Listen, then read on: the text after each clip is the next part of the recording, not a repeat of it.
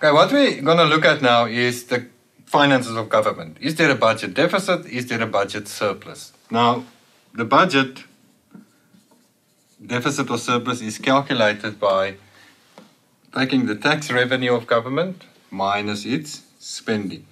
Depending on, on the answer here, you can decide whether it's a deficit or a uh, surplus.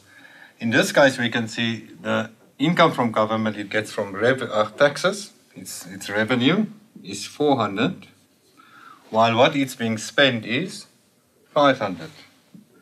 And that we will indicate as a minus 100, which means this government is overspending by 100, and that is indicated as a budget deficit. So in our model, at this equilibrium level of income, the government has a budget deficit of minus 100.